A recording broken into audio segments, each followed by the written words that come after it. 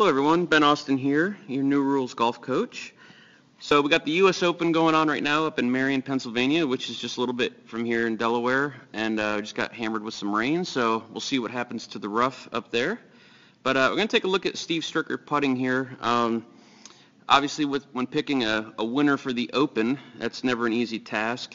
Um, there's so many great golfers that it's kind of anyone's tournament, but you know, one of the things that's very typical with the U.S. Open is the greens are extremely fast and undulating. So, you know, generally people that have a very good short game, uh, they're going to have a good chance of winning it. And I think with Merion, since the course is not extremely long, if Steve Stricker can keep the ball in play and he can putt to his potential, I think Stricker's going to have a very good chance of, if not winning, at least having a very good finish. So we're going to take a look at uh, putting stroke here with Stricker. So got a camera angle that's a little bit off angle, but let's take a look at his posture to start with. So you can pretty much see from this angle that Steve is pretty bent over when he's setting up, you know, so it's very typical what you'll find in, in uh, tour players when they putt. They're not going to be very upright.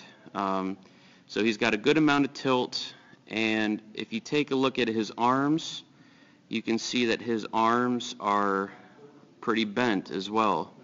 You know, so his arms are not straight by any means.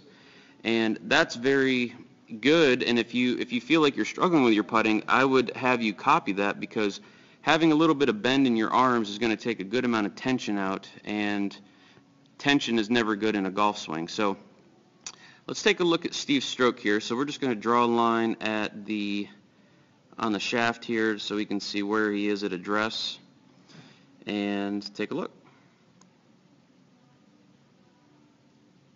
Okay, so we can take a look at his backswing here. If you watch his hands and his arms, you can notice that his hands are not moving. And pretty much what he's doing here is he is rotating his chest and his shoulders I would say he probably doesn't have much feel in his hands at this point. And if we draw a line of where the club is on his backswing, it's pretty close. Okay. And let's take a look at Steve's follow through. So you can see at impact, he has brought the shaft right back to where it was at address. And now in his finish, draw a line there. So you can see a lot of symmetry to Steve's putting stroke. So, you know, his follow through might just be slightly longer than his backswing, um, but that's pretty pretty typical in good putters. You'll notice that most people, I think, when teachers, I think when we see put people putting in in lessons, they have they generally have a very big backswing and a short follow through or they have a very short backswing and an extremely long follow through. So I would try to copy this to work on your putting. Try to get a little bit of symmetry to your stroke where it's almost feeling 50-50. Um, maybe have just a little bit longer follow through than, than backswing. Excuse me. But, you know, one thing that's interesting about Steve's putting stroke is you don't see this a whole lot with guys on tour. So you take a look at Steve's head and we draw a little line here.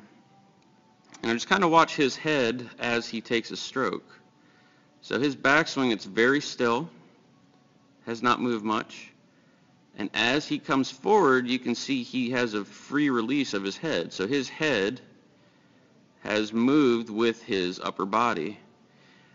And that's very different if you watch somebody like Tiger, who, you know, Tiger, when he hits the ball, his head is going to remain down till the ball is about six or seven feet past.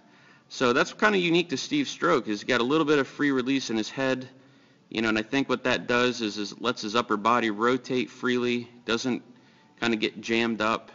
So there's a lot of good things in this stroke to copy if you feel like you might be struggling with your putting. And, you know, so Steve's going to be my pick for the week. I could be very wrong. Um, you know, like I said, you never know who's going to win, but we'll see what happens, and uh, let's watch some Open.